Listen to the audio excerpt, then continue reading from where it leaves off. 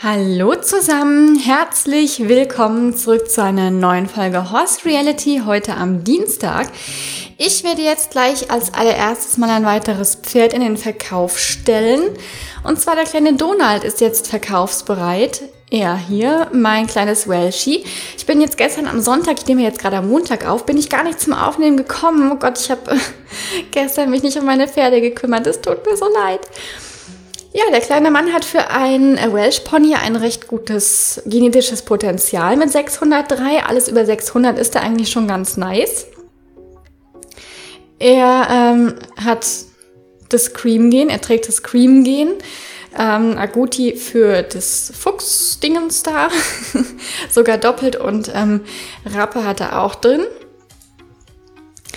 Ähm, und momentan, ja, er hat einmal Average, den Rest gut. Er ist hier in der Mitte vom Second Premium. Er hat jetzt nur gerade, glaube ich, auch keinen. Doch, er hat einen Halfter drauf. Das werde ich dann runternehmen für die, ähm, über den Verkauf. Das wird nicht mitverkauft. Ich schicke ihn aber gerade noch mal rein. Ja, 71,25. Er ist leider eher im unteren Bereich. Ich weiß es nicht, ob er noch besser wird. Keine Ahnung. Ist jetzt gerade ist er tatsächlich deutlich schlechter. Vielleicht habe ich vergessen, die Hufe zu schneiden. Auf jeden Fall stelle ich den rein und ich würde ihn reinstellen jetzt für drei Tage.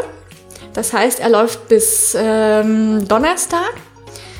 Dienstag, Mittwoch, Donnerstag. Bis Donnerstag Mittag gegen 12 Uhr wird er laufen. Und ich finde, ja, obwohl 5000, ich würde sagen 4000. Er hat ja eigentlich keinen schlechten Körperbau. Okay, es ist einmal Average drin, aber ich finde jetzt trotzdem nicht, dass er so, dass er, dass er so schlechte Noten verdient hätte.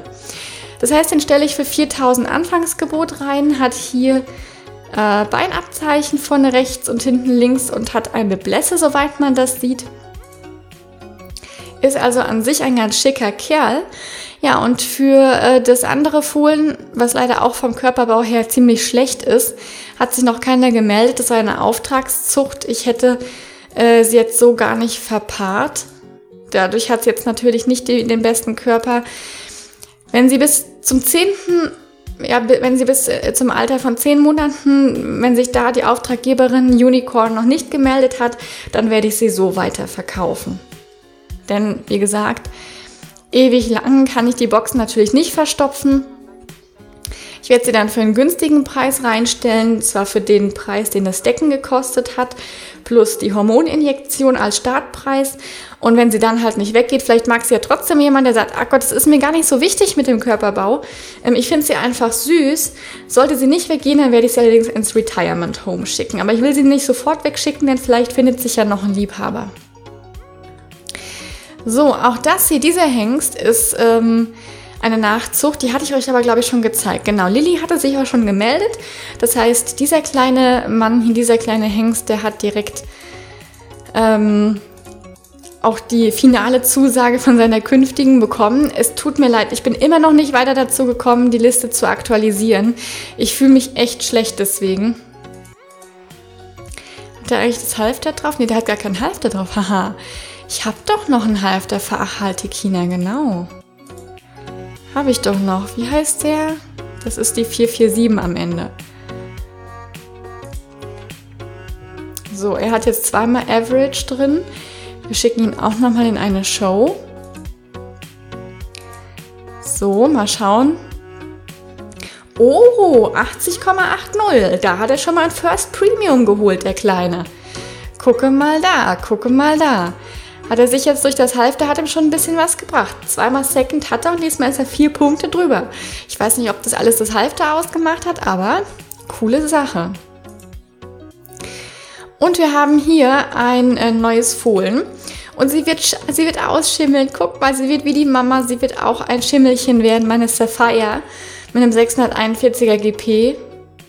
Champion in ähm, in Distanzreiten momentan leider gar keinen, also sie hat leider wirklich gar keinen guten Körperbau. Also Average, Below Average, dreimal und noch weitere viermal Average. Also das liegt an ihrer Mom, denn Saphir hat nicht wirklich einen guten Körperbau. Sundancer ist ein guter Hengst, Saphir leider gar nicht. Leider, leider.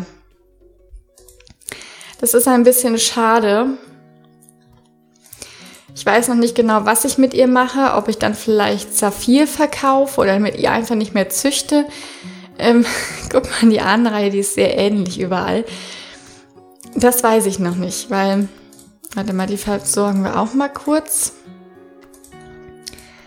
Die gute Saphir. Also ihr seht, guck mal hier, die hat fünf, nee, sechsmal below average und zweimal average. Also die ist wirklich, ja, ne? Gar nicht gut. Im Übrigen ähm, empfehle ich euch jetzt, wenn ihr Geld bekommen möchtet, trainiert eure Pferde wie die Wilden und schickt sie in Turniere, wenn sie eine hohe Prozentzahl haben im jeweiligen Level. Denn ähm, die Gewinne, die Gewinnsummen, die wurden deutlich erhöht. Das heißt, ihr macht jetzt ordentlich Gewinn, wenn euer Pferd da auf Platz 1, 2 oder 3 kommt. Und je nachdem, wie hoch euer Pferd trainiert ist, macht ihr natürlich immer mehr Gewinn. Mit jedem Level steigen die Gewinnsummen. Also das kann ich euch definitiv empfehlen, wenn ihr Geld machen möchtet. Das wäre jetzt, glaube ich, gerade ein ganz guter Tipp. Ansonsten hat sich hier, glaube ich, noch gar nicht so viel wieder getan. Isländer ist Wahnsinn. Es sind noch zwei Isländer drin in den Private Trades für mich, die für mich interessant wären. Allerdings habe ich gerade keine Box mehr frei. Ich habe zwar gerade wieder, ich kann eine kaufen,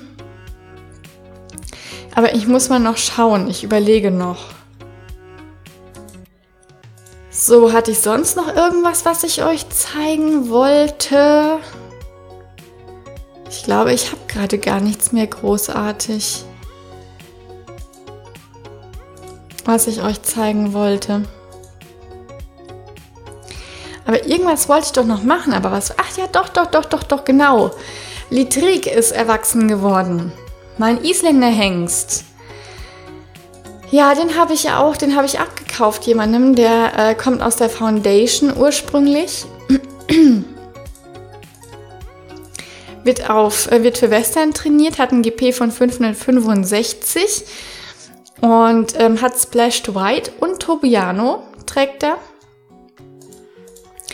Leider ähm, eher Second Premium, Third Premium, hat viermal Average drin, aber auch einmal Very Good. Hat er eigentlich gerade einen Halfter drauf? Ja, hat er. Aber ich kann ihn jetzt gerade in keine Show schicken. Ich habe ihn aber auch zum Züchten angeboten. Allerdings zu einem nicht so hohen Preis. Die 600 sind mehr für die Farbe als für den Körper. Ähm, ich gebe immer auch einen Delta Point an. Wenn man jetzt zum Beispiel sagt, okay, ich habe gar nicht so viel Geld, ich habe einige Delta Points, braucht die aber noch gar nicht ich würde mir lieber das Geld sparen und einen Delta Point zahlen. Deswegen gebe ich immer einen Delta Point an. Foundation Tickets und Wildlife Tickets sind für mich eher uninteressant. Ihr seht, ich habe 145 Foundation Tickets und 142 Wildlife Tickets. Das heißt, da brauche ich eigentlich gerade eher weniger. Ähm, aber mit Litrik könntet ihr jetzt auch züchten. Ansonsten, ich wollte mal kurz schauen, wer wird denn hiermit als nächstes erwachsen? Mm, ewig lang wird es nicht mehr dauern bei Fly High. Ist aber auch wieder ein Hengst. Kann ich dann auch keine, kein Fohlen rausholen. Ähm, Bambus rauf Skiona. Dauert auch noch ein bisschen. Ähm, Krabbler ist genauso wie Bambus raus Skiona. Engil, Engil, genau, da wollte ich doch mal noch schauen. Ich glaube, Märchen hat sich noch nicht gemeldet wegen Little Princess. Ich hoffe, dass Märchen sich jetzt auch bald meldet. Weil ich Little Princess ja eigentlich gerne wieder weggeben würde. Aber ich wollte sie halt einfach nicht einfach so rausschmeißen, ne? Weil Märchen ja schon gesagt hatte, sie würde sie gerne nehmen. Aber ich hätte ganz gerne mal. Ich bin mir nicht sicher, ob Märchen das Märchen hier im Spiel ist. Weil wenn ich hier bei Search, wenn ich hier nach Märchen suche, kann natürlich sein, dass sie alles auf Englisch geschrieben hat. Ja. Kann aber auch nicht sein. Und sie hat halt keine Isländer. Deswegen bin ich da gerade echt so ein bisschen. Ich weiß es nicht, ob sie es war. Ich weiß es nicht, ob sie es war. Deswegen, doch, da unten ist ein. ein nee, das ist eine Welsh Pony, sorry. Ähm, deswegen bin ich mir nicht zu 100% sicher und ich möchte es jetzt halt auch nicht dem Falschen reinstellen. Deswegen, ich hoffe, sie sieht es. Ich hoffe, sie sieht es.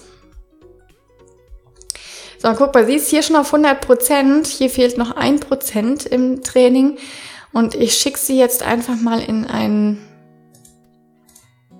Western Raining Wettbewerb rein.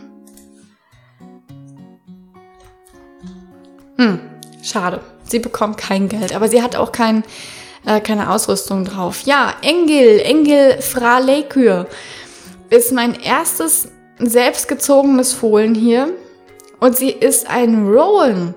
Ich finde, das sieht man hier so noch gar nicht, ne? Um, ähm, doesn't have what it takes to, to become big. Also sie soll jetzt nicht super gut sein in Wettkämpfen, aber immerhin Rowan und ein 591er Potenzial. Also das ist schon ganz nice. Sie hat zwar sehr viel Average drin, aber ich wollte sie trotzdem mal gerne noch behalten. Ansonsten hätte ich Engil wahrscheinlich auch eher verkauft, aber das macht sie dann für mich doch nochmal ganz interessant.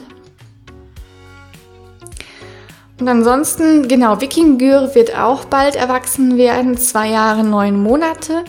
Der ist auch soweit schon austrainiert. Ich bin mal gespannt, ob er im Hengstalter noch ein bisschen zulegen kann. Äh, hat er leider auch fünfmal Average drin.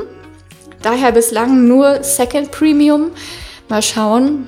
Aber ist halt mit dem ähm, W21 gehen, was hier oben dann so ein bisschen, ja, so, so weiße Stichelhaare, so Pünktchen drauf ausmacht. Das ist halt schon wieder ein bisschen was Besonderes. Mhm. Und was wollte ich noch? Ich wollte bei den Oldenburgern mal noch schauen, wie die beiden gerade oder wie die drei gerade dastehen für, für Turniere. Okay, hier brauche ich gerade noch nichts versuchen in der Dressur mit Accento. Ähm, Pageno auch momentan beim Springen eher uninteressant für für Turniere. Das ist cool. Wenn ich hier Trail mache und dann 60 Minutes, ist bei Second Level vom Springreiten mache ich genau 50 Prozent. Das heißt, 200 äh, Prozent Energie sind einmal das hier abge abgeschlossen. Das ist ganz cool. So, und Samira ist auf 93 Prozent. Ja. Ich glaube, das mache ich, ich glaube, ich mache das auch erstmal so. Das war jetzt wahrscheinlich ein bisschen zu viel. Aber ja, dann könnten wir vielleicht mit ihr am Wochenende mal ein Turnier gehen, weil bis dahin dürfte sie da ziemlich weit sein, hätte ich jetzt so gesagt. Okay, ich würde mich dann aber für heute von euch verabschieden. Ich bedanke mich ganz, ganz herzlich fürs Zuschauen und wir sehen uns dann am Samstag wieder bei einer weiteren Folge Horse Reality und ja, falls sich jemand findet für Donald, dann wünsche ich dir, der Person, die ihn dann kauft, schon mal viel Spaß mit dem kleinen Mann. Also, bis dahin, tschüss.